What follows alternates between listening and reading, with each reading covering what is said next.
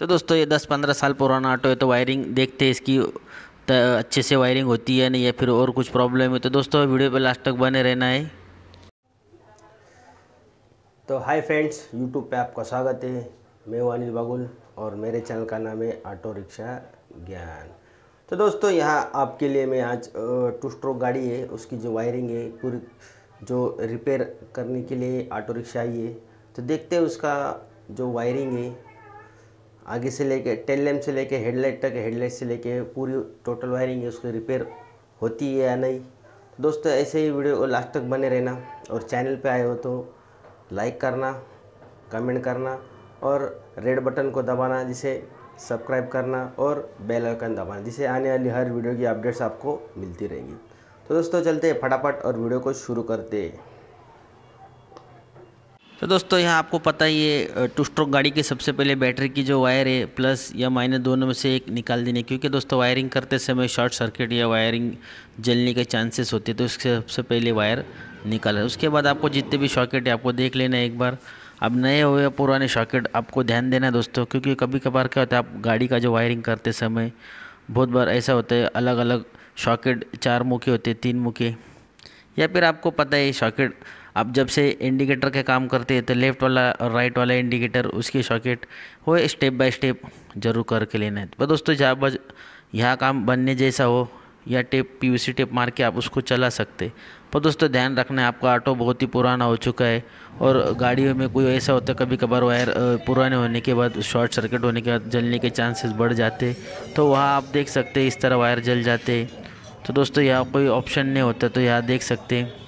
आप जैसे जैसी आपकी ऑटो जैसे जैसी पुरानी होती जाती है, वैसे वैसे वायर का जो एक टाइम आता है वो ख़राब हो जाने का मैंने उसका एक मैन्युफैक्चर डेट के ऊपर चली जाती है और वायरिंग जलने के चांसेस बढ़ जाते हैं। तो दोस्तों, फ़िलहाल अभी देख सकते हैं ये वायरिंग जो वायर लूम है ऑटो रिक्शा बनने के लायक नहीं है फ़िलहाल, इसलिए अभी नया वाला वायर लूम लेके आए। तो दोस्तों, ये हज़ार बारह सौ तक वायर लूम आता है।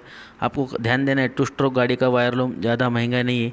पर दोस्तों, यहाँ आप कंपनी का वायर लूम लेंगे तो थोड़ा महँगा जाता है।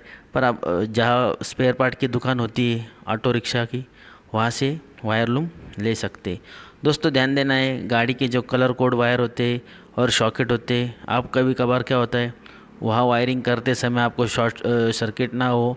इसके लिए आपको ध्यान देना है, सबसे पहले जो गाड़ी के वायर की जो वायर होती है कलर कोड स्टैंडर्ड ही होता है, उससे कोई ज़्यादा प्रॉब्लम आता नहीं, आपको खाली शॉकेट तक उसको काट लेना है।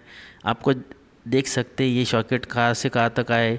तो इसको यहाँ, इस जगह से काट लेना है और नहीं जो वायरिंग आने वाली है, वहाँ उसको फिर से उसको जो पीयूसी टेप से अच्छे से उसको जॉइंट मार देना है, जिससे पता ना चले कि वायरिंग हुई है या नहीं। तो दोस्तों, यह काम धीरे धीरे करना है।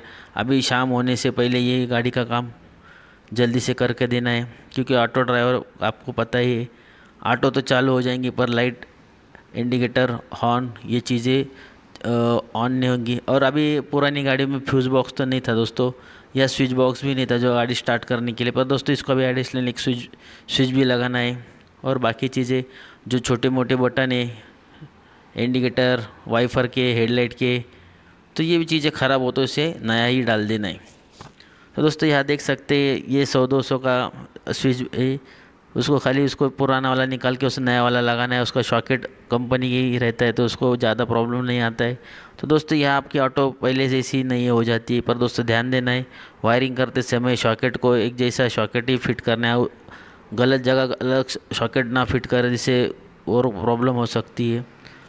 तो दोस्तों, यहाँ मेरा कहने का मतलब यही है कि आपके पास वायरमैन के पास सीधा जाने और काम करना, आप खुद ट्राई करना चाहते हो तो ना करें, क्योंकि गाड़ी में और नुकसान हो सकता है। तो दोस्तों यहाँ आपका गाड़ी अभी एलपीजी की या सीएनजी हो या पेट्रोल कोई भी ऊपर, दोस्तों, वायरिंग करना बहुत ज़रूरी होती है, क्योंकि दिन के समय तो कोई दिक्कत नहीं तो रात के समय इंडिकेटर लाइट का बहुत ही ज़रूरत होती है। तो ये देख सकते दोस्तों वायरिंग करते समय इस तरह अपर डिपर और रेड कलर की और अर्थिंग वायर तो आपको पता ही है, ये स्विच है, गाड़ी को ऑन ऑफ़ करने के लिए अलग से लगा रहे तो इसको भी कोई प्रॉब्लम नहीं थी कलर कोड एक जैसा हो, आपको पता हो, रेड अर्थिंग ग्रीन, येलो, जैसा उसका कलर है, कलर कोड के हिसाब से उसको जॉइंट मार के पीवीसी टेप अच्छे से लगाना है, जिससे कारण कोई वायर लूज ना रहे शॉर्ट सर्किट का चांसेस रखने का नहीं। दोस्तों, ध्यान रखना, काम करते समय अभी फ़िलहाल जो इरफान भाई है, वो काम अपना अपना खुद आराम से कर रहे हैं और अभी अंधेरा हो चुका है दोस्तों, क्योंकि दिन भर से गाड़ी का काम करते करते गाड़ी में